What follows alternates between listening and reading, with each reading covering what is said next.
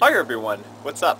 Well today it's a really nice but windy day of April 6, 2014. Currently the weather here is around 13 degrees Celsius, so that's around a little over 50 degrees Fahrenheit. So I'm still not going to make those cold starts for the lawnmowers and trimmers yet because we still have a lot of snow on the ground. Uh, winter has been extremely long this uh, year we had a freak snowstorm the last uh, few days of March and last week has been really cool. Um, maybe around plus 3, plus 4 degrees. So now, finally we're in the double digits and hopefully by the end of this week it's supposed to completely melt. So by then I'll be taking out all those trimmers and lawnmowers and starting them up for you. So today's video, uh, this is a request from a couple of weeks ago uh, for Ryan uh, RGB22. Uh, he asked me to film my father's Ford Ranger because he's looking to buy a similar pickup. So I guess I'll film that one for you since it's been a while since we last did the Ford Ranger as well as I'll give you an update on my Colorado and see how that one's doing. See snow still here and pretty much no snow on the streets. And Oldsmobile is still here. Alright, so the Ford truck has been washed recently, so I thought I should make a good video of it. So over here is a 2010 Ford Ranger, which is the base trim model. So this is the one that has the rubber mats for the floor. So this is a six foot bed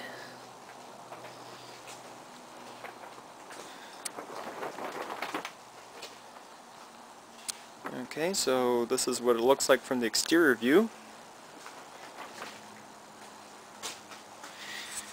Uh, we have the winter rims. Currently it's running on P235-70R15 Nordic, which is a pretty good winter tire. A lot of tread on this. So, this truck has been with us for around four years. We got this in June of 2000. 10, brand new with only 14 kilometers on the clock. And for the years that we owned it, it never ever gave us any trouble. Very dependable. So uh, if you look on that video, I'll be posting it on the video description for anyone who's interested. That was the truck before. So we added all the chrome tips to it to really make it looking sharp. Uh, for example, uh, this grill was chromed, originally was black. This wasn't there, so that was chromed out. I bought these chrome uh, mirrors uh, from eBay as well as the handles, as well as the bed rails, which I would like to add this on my pickup truck. And which is not seen here, uh, usually in the summertime we have the side steps. Okay, so now for the 2010 Ranger, uh, you have the choice of two engine options. In 2008 you had three of them. So either you can get the 2.3 liter four cylinder, which is around 143 horsepower with 150 pounds-feet of torque, or the larger 4 liter, which is a Cologne single overhead cam, six cylinder that generates 207 horsepower and 238 pounds per feet of torque. So, considering that my similar Colorado is a five cylinder 3.7 it has much more horsepower and torque like I said in the other video uh, this has 242 horsepower with 242 per pound speed of torque and it's one less cylinder so it's a lot more fuel efficient than the six cylinder. So I'll show you the engine before I go and show you the details inside. Alright so this is the motor. I think this is a double overhead cam if I'm not mistaken. Yeah yeah the alternator is way tucked down there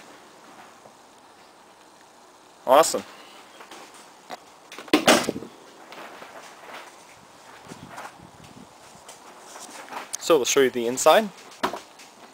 So this is pretty reminiscent of the older generation Ford Explorers. So this is the Super Cab model, which means it's the extended cab. So you don't really have that much room in the back compared to the Colorado, but it's pretty decent. You can sit like two adults on the other side.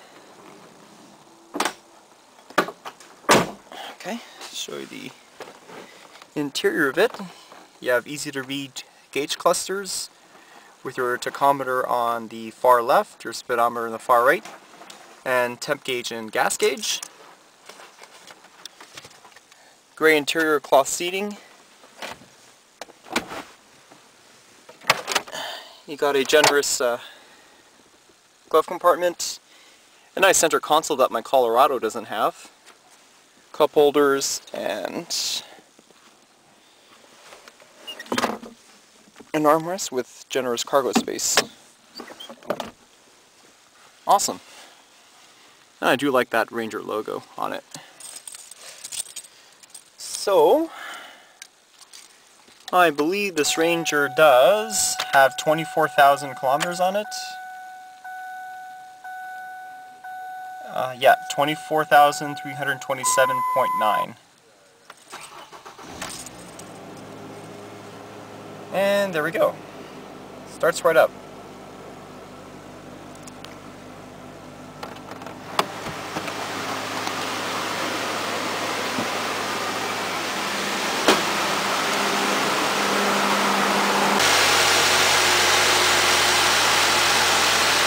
Runs like a sewing machine.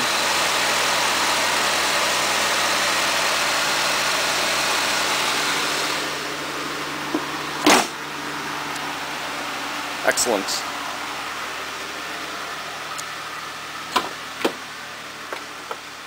Alright, I guess I'm gonna go shut it down because I don't have any gas in this one. Awesome. Alright, now for my Chevy Colorado. Uh, this is, a, once again, a six foot bed. Uh, this is the extended cab.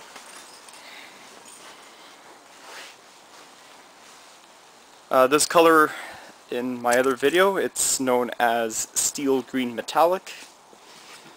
And over here, I got my summer tires, leaf blower and a vacuum. Tonneau cover that easily unfolds, so this is where I'll be putting all my lawnmowers and trimmers.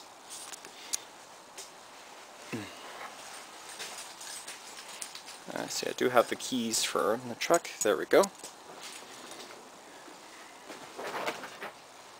Yeah, this is a 3.7 liter inline 5 cylinder that makes 242 horses and 242 pounds-feet of torque.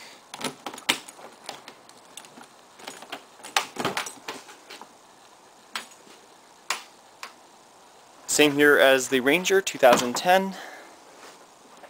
As you can see, there's a lot more generous space in the back, so you can actually fit two full-grown adults in the back.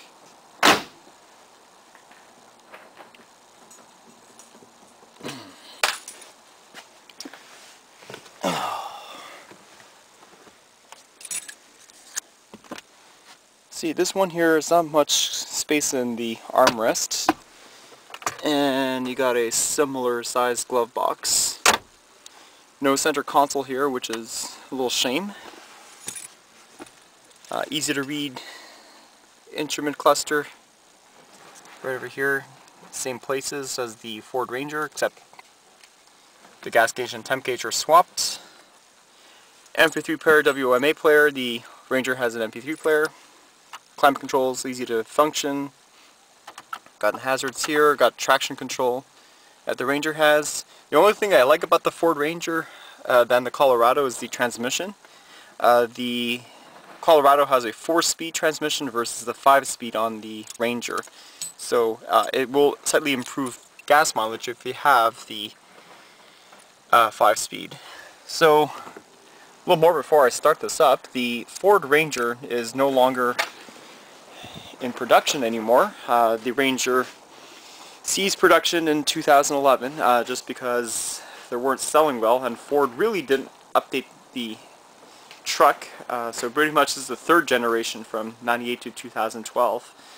So uh, 2004 they got the updated interior, and in 2007 and above they got the much more angled uh, side mirrors. But the truck is pretty good. I, uh, my father really loves it. No problems with it, like I said. Alright, now for my Colorado, it's very too soon to give you a long-term review since I just bought this truck in February of uh, this year.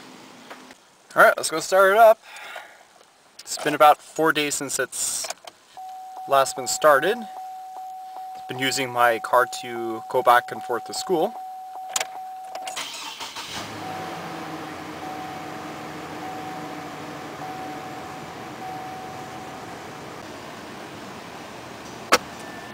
Sixty-two thousand seven hundred and two kilometers. Oh, sweet.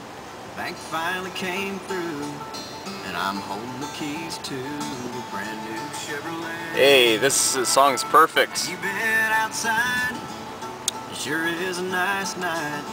How about a little test drive down by the lake? Awesome.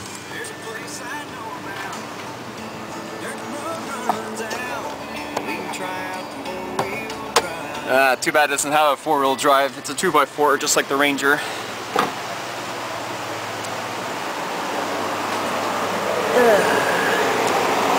Alright, let's find the... And there we go, Vortec 3700.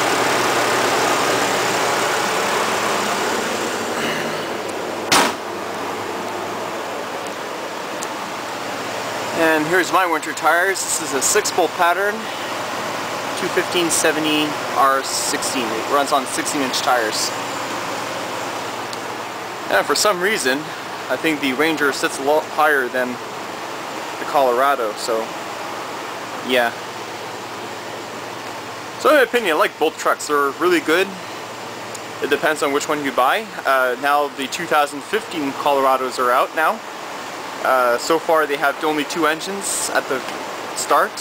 Uh, they either have a 2.5 liter four cylinder or the ubiquitous GM 3.6 liter. And in 2016 uh, they will be adding the 2.8 liter Duramax diesel four cylinder.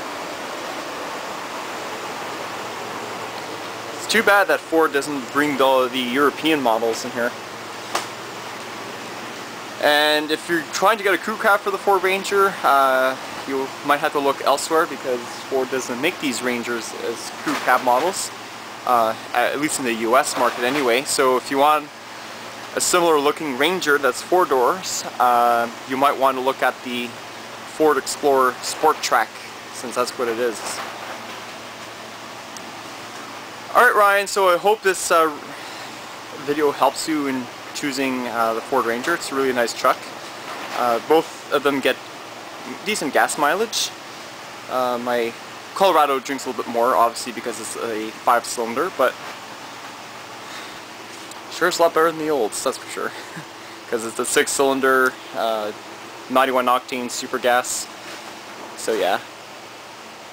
And of course, I not forget to give a little small update on my old LSS 1998 with the venerable 3800 Series 2 Supercharged, the L67,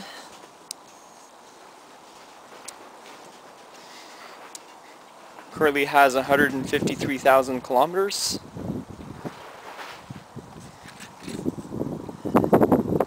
Alright, sorry for the wind noise. Oh, I got no battery. Alright, let's give it one crank. 153,124.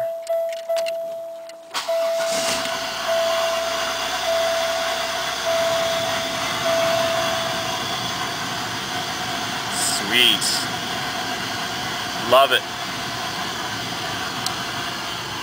Ah, it's only 7 degrees, so probably it's going to warm up. Thought it'd be a lot warmer than that. Alright everyone, hope you enjoy the cool video. Hope this helps Ryan choosing your pickup truck. Both of them are great models. Alright, thanks guys.